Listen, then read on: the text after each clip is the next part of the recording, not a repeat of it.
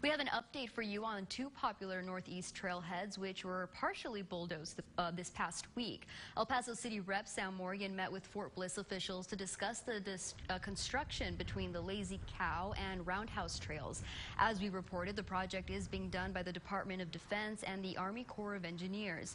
There was confusion as to why the trails were affected by the construction, but Representative Sam Morgan says the project is to clean up the area which used to be an artillery impact area area.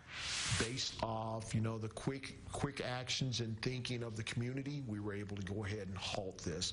Like I said, a lot more damage could have been done, but uh, right now we're in a good good place, and I just ask the community to bear with us and let's work this out together.